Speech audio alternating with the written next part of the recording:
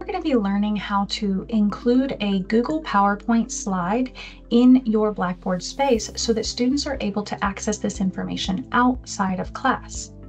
The first thing we need to do is create a space available for our Google Slides. So I'm going to go to a sandbox and create a new document. Once inside of a document, I can add HTML. Make sure that you put an appropriate title and have uh, students be able to view this content. If they can't view the content, then they will not be able to see the iframe. We will add the iframe code via copy pasting, and this code is available for anyone to copy and paste it. Just uh, send me a request. Now, an iframe is a type of HTML code that creates a window that students can reach through and interact with another website. This does not work for all websites, but it does work for Google Slides. We are going to insert our Google Slides right here where it says website. The next thing we need to do is go to the slides that we wish to share with our students.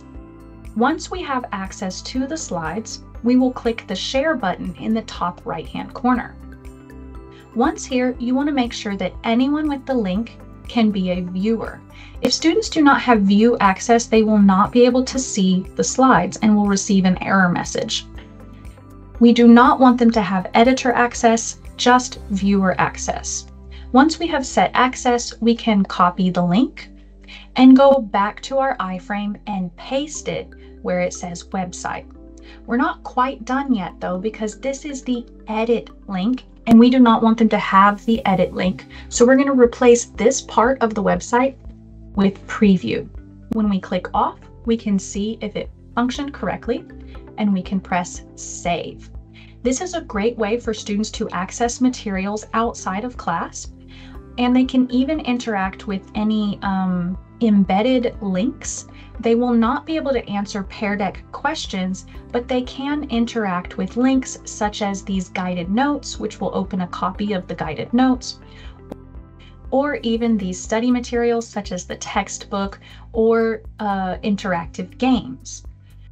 When a student views these pages, it is live, meaning that if you make a small change, um, for instance, maybe I want to change the title or make it bold Okay. Once this updates, when we go back to the document, it should update as well, meaning any changes that you make on the back end will be reflected to the students.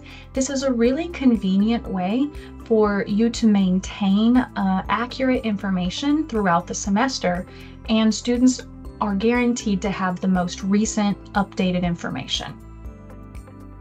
Thank you for joining me today, and if you have any further questions about how to embed a Google Slides into your Blackboard space, please feel free to reach out.